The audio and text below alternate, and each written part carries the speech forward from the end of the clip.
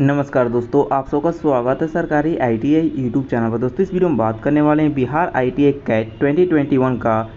Rank card जो है publish किया जा चुका है। इसमें बहुत ज़्यादा स्टूडेंट को जो प्रॉब्लम है, हो रही है। प्रॉब्लम में क्या हो रहा है? इसके बारे में आपको यहाँ पर दस, यहाँ पर प्रॉब्लम को बताया गया है। इसका सोल्यूशन आपको इस वीडियो में दिया जाएगा, जो कि पहला आप यहाँ पर देख पाइएगा। बहुत लोगों को ना रैंक समझने में प्रॉब्लम हो रही है। यानी कि बहुत लोग कह रहे हैं कि सर हमारा यू में रैंक आया है, कैटेगरी में भी रैंक आया है और रैंक होता क्या है हमें सर समझ में नहीं आता, इसके बारे में हमें बता दीजिए। और दूसरा प्रॉब्लम क्या है तो आप यहाँ पर देख पाइएगा, Bihar I T CAT twenty result आने के बाद आगे क्या करना है, इसके बारे में किसी को जानकारी नहीं है।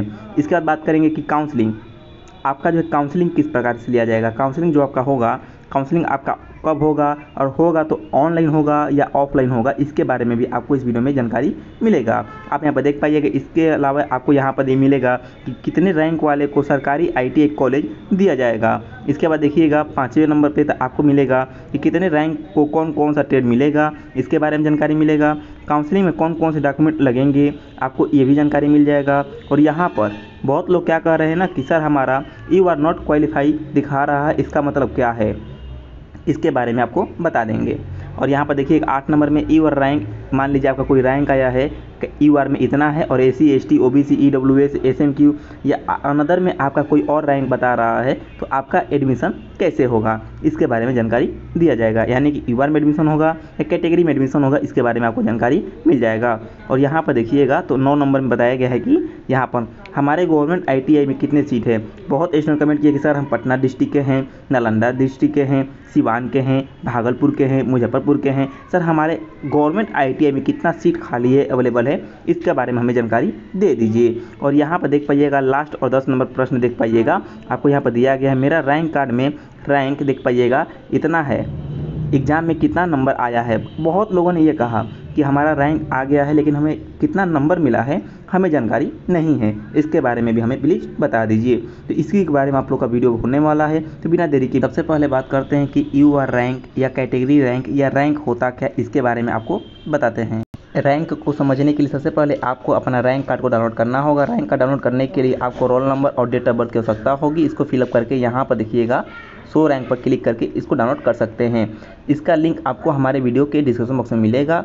जैसे ही आप अपना रैंक डाउनलोड कर लीजिएगा, इसके नीचे आपको यहाँ पर देखने को मिलेगा। आपका रैंक यहाँ पर देख पाइएगा। ज़ीरो थ्री और यू आर 1830 लिखा हुआ शो हो रहा है। सबसे पहले बताते हैं कि ज़ीरो थ्री क्या है। ज़ीरो थ्री जो है आपका डिस्ट्रिक्ट यानी कि आपका आईटीआई डिस्ट्रिक्ट का सीरियल नंबर है ज़ीरो थ्री। यानी कि बक्सर का है तो यहाँ पर ज़ीरो थ्री लिखा हुआ शो हो रहा है। आप यहाँ पर देख पाइएगा, बक्सर ज़ीरो थ्री, ठीक है? और यहाँ पर जो लिखा गया है, एक हज़ार आठ सौ तीस, इसका मतलब क्या है? और यहाँ पर देखिएगा बीसी में आपको यहाँ पर बताया गया है। नीचे एक साइड दिखाते हैं, ज़ीरो थ्री बी सी पाँच सौ अंठानवे, ठीक है? तो आपका बीसी में पाँच सौ अंठानवे रैंक है और यदि आप जनरल में जाएँगे तो आपका जो है एक हज़ार आठ सौ तीस रैंक है। ठीक है? यह दो जगह रैंक क्यों दिया गया है? क्योंकि जो आप जो क्वालिफाई किए हैं, अपने कैटेगरी में भी क्वालिफाई किए हैं और जो आप क्वालिफाई किए हैं यूआर कैटेगरी में भी क्वालिफाई किए हैं। सबसे पहले रैंक के बारे में आप लोग को बता देते हैं। रैंक जो तैयार किया जाता है, यह आपके डिस्ट्रिक्ट में, आपके डिस्ट्रिक्ट में जो भी कॉलेज है, उसके अनुसार, उसमें कितना सीट अवेलेबल है, उसके अनुसार हर एक डिस्ट्रिक्ट में अलग अलग रैंक तैयार किया जाता है। ठीक है? यदि आपका जितना रैंक कम रहेगा, मान लीजिए कि किसी का रैंक वन है या थ्री है तो इन लोग का जो है बेस्ट है, ठीक है? यदि आपका रैंक जो है सौ है तो इससे जो है सौ जो है ना, आपका अच्छा नहीं है रैंक वन ही अच्छा माना जाएगा, ठीक है? आप समझ गए होंगे। चलिए बात करते हैं नेक्स्ट क्वेश्चन के बारे में। तो हैं दूसरे क्वेश्चन के बारे में, जो कि है, Bihar I T CAT twenty twenty one का रिज़ल्ट आ गया है, अब आगे क्या करना है?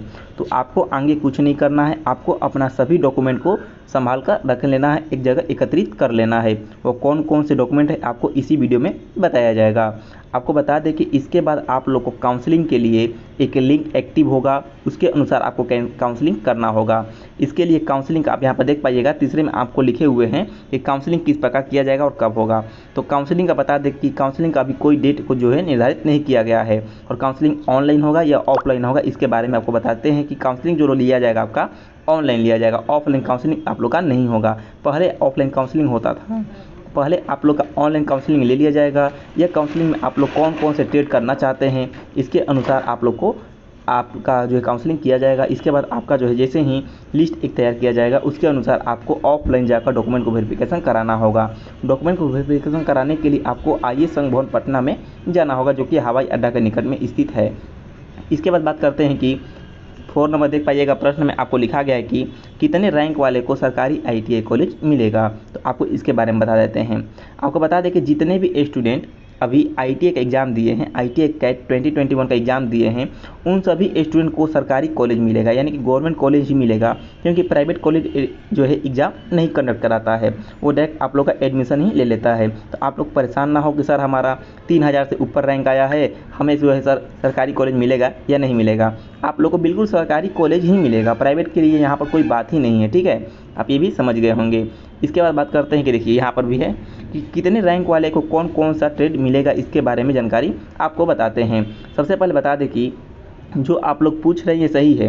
रैंक के हिसाब से ही आप लोग का जो है ट्रेड मिलता है।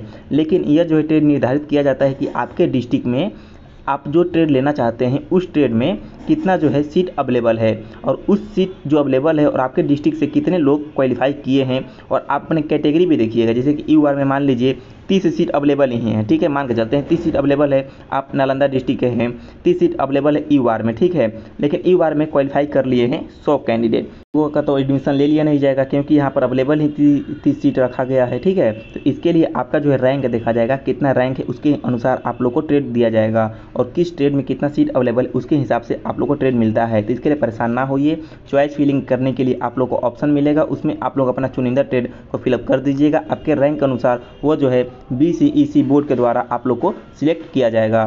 फ़र्स्ट राउंड और सेकेंड राउंड के सिलेक्ट होगा। उसके बाद मोपो काउंसलिंग के लिए आप जा सकते हैं। कहते हैं कि काउंसलिंग में आप लोग को कौन कौन से डॉक्यूमेंट लगेंगे, इसके बारे में आपको जानकारी देते हैं। तो सबसे पहले बता दें कि काउंसलिंग में आप लोग का कोई डॉक्यूमेंट नहीं लगेगा। क्यों नहीं लगेगा? क्योंकि काउंसलिंग आप लोग को ऑनलाइन लिया जाएगा। इसमें आप लोग को roll number registration number date of birth की आवश्यकता होगी और मोबाइल नंबर की। जो मोबाइल नंबर आप लिंक कराए होंगे या जो मोबाइल नंबर आप फॉर्म भरते वक्त दिए होंगे उस मोबाइल नंबर की अति आवश्यकता होगी ताकि उस पर ओटीपी जाएगा। ओटीपी को वेरीफिकेशन करने के बाद आप लोग का काउंसलिंग किया जाएगा। उसके बारे में जैसे ही काउंसलिंग आएगा काउंसलिंग होना शुरू होगा, आपको सबसे पहले वीडियो हमारे चैनल के माध्यम से मिल जाएगा। इसके बाद बात करते हैं कि आपको यहाँ पर देखिएगा, सात नंबर में लिखा गया है यू आर नॉट क्वालिफाई दिखा रहा है। इसका क्या मतलब है? इसके बारे में आपको जानकारी देते हैं। यदि आपका भी यू आर नॉट क्वालिफाई दिखा रहा है तो ये प्रोसेस करने के बाद आपका जो है क्वालिफाई दिखाने लगेगा। चलिए उसके बारे में बता देते हैं। जैसे कि आप यहाँ पर देख पाइएगा यू आर नॉट क्वालिफाई दिखा रहा है। इसका क्या मतलब है? इसको कैसे आप सही कीजिएगा? यदि आपका भी यू आर नॉट क्वालिफाई दिखा रहा है, सबसे पहले आपको फिर से अपने पेज को लॉगिन कर लेना है। और यहाँ पर देखिएगा, आपका जो रोल नंबर होगा, वो रोल नंबर और यहाँ से अपना डेट ऑफ़ बर्थ को सही सही ठीक है, जो भी आपका डेट ऑफ़ बर्थ होगा, वो डेट ऑफ़ बर्थ को सही से फिलअप कीजिएगा। और सो रैंक पर क्लिक कीजिएगा। क्लिक करने के बाद आपका जो है रैंक कार्ड खुलकर सामने आ जाएगा। लेकिन फिर भी आपका रैंक कार्ड नहीं खुलकर सामने आता है तो आप एक बार ध्यान दीजिएगा तो अड़तालीस घंटे, ठीक है? आपको अड़तालीस घंटे तक वेट कर लेना है, उसके बाद आपका जो है रैंक कार्ड अपडेट कर दिया जाएगा। यदि आपको बता दें कि आपका रोल नंबर में या जो है डेट ऑफ़ बर्थ में थोड़ा सा भी मिस्टेक होगा तो आपका रैंक कार्ड जारी नहीं किया जाएगा। जैसे कि देख लीजिए, सही रैंक कार्ड है, लेकिन हम इसी के रोल नंबर में थोड़ा सा बदलाव कर देते हैं। करने में देखिए सो रैंक पर क्लिक करेंगे तो यहाँ पर देखिए, बता रहा है यू आर नॉट क्वालिफाई ठीक है? आप यहाँ पर सही से डिटेल को फिलअप कीजिएगा। अब बात कर लेते हैं कि यू में यदि आपका रैंक आया है और आपके कैटेगरी में भी रैंक आया है तो आपका एडमिशन कैसे लिया जाएगा? आपको बता दें कि आपको एडमिशन लेने के लिए सबसे पहले आपको ऑनलाइन काउंसलिंग कराना होगा। आप चाहें तो आपका यू में रैंक आया है तो आप यू में भी एडमिशन करा सकते हैं, या आपका कैटेगरी में रैंक आया है तो कैटेगरी में भी एडमिशन करा सकते हैं। आप पहले देख लीजिएगा आपका डिस्ट्रिक्ट में कितना सीट अवेलेबल है। उसके अनुसार आप जो है जाइएगा काउंसलिंग में, ठीक है? पहले आप लोग ऑनलाइन काउंसलिंग चॉइस फिलिंग कर लीजिएगा, उसके बाद आप लोग का एक लिस्ट जारी होगा, जिसमें कि आपको यू आर में भी रोल नंबर देखने को मिलेगा और आपके कैटेगरी भी जो होगा, उसमें भी आपको अपना रोल नंबर देखने को मिलेगा और साइड में आप लोग को कब आकर डॉक्यूमेंट वेरिफिकेशन कराना है, उसके बारे में भी बताया जाएगा। तो आप लोग का जब भी यू आर में रैंक होगा या कैटेगरी में रैंक होगा, उस डेट को जाकर अपना डॉक्यूमेंट को वेरिफिकेशन करा सकते हैं। अब बात करते हैं कि हमारे गवर्नमेंट आई में कितना सीट अवेलेबल, इसके बारे में आपको दिखाते हैं कि आपका जो है 2021 में जो न्यू एग्ज़ाम हुआ है और उसका जो है गवर्नमेंट आई में कितना सीट अवेलेबल, उसके बारे में आपको बताते हैं। I T I CAT twenty का यहाँ पर प्रोस्पेक्टर आपको दिखा रहे हैं, जो कि आप यहाँ पर देख पा रहे होंगे।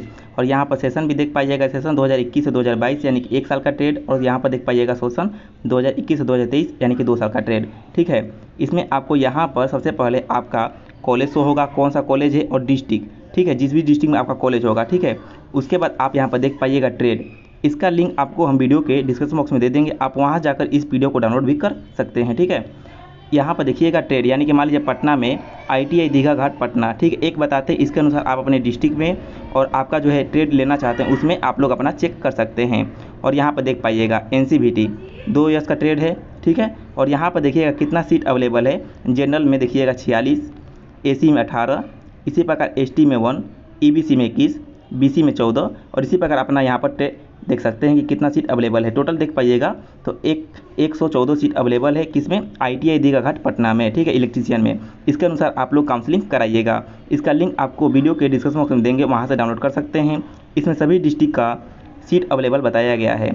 एक बात और बता दें कि आपको जो है NCBT ही ट्रेड मिलेगा, ठीक है, परेशान ना होइएगा क्योंकि एस को ही 2019 से ही हटा दिया गया। 2019 के बाद से एस को हटाकर एनसीबीटी में कन्वर्ट किया जा चुका है। आप इसको डाउनलोड भी कर सकते हैं। कर रहे हैं कि सर, हमारा रैंक कार्ड जारी कर दिया गया और रैंक हमारा आ चुका है, लेकिन हमें एग्ज़ाम में कितना नंबर मिला है? इसके बारे में जानकारी नहीं है। इसके बारे में बता दीजिए कि हमारा नंबर कितना आया है, वो कैसे हम चेक करेंगे।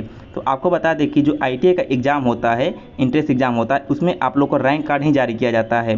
क्योंकि डिस्ट्रिक्ट वाइज इसका सीट जो है बांटा गया है और डिस्ट्रिक्ट वाइज में कितना सीट अवेलेबल है, उसके अनुसार यहाँ पर बांटा गया है। सभी कैटेगरी को इसीलिए यहाँ पर रैंक को जारी किया जाता है, न कि यहाँ पर आपका नंबर शो किया जाएगा। रैंक अनुसार आप लोग का एडमिशन भी लिया जाएगा। और यहाँ पर देखिएगा, यदि आपके मन में इसके अलावा कोई और भी सवाल हो जो कि आप हमसे पूछना चाहते हो, कमेंट कीजिएगा, उसके बारे में भी आपको बता देंगे। धन्यवाद।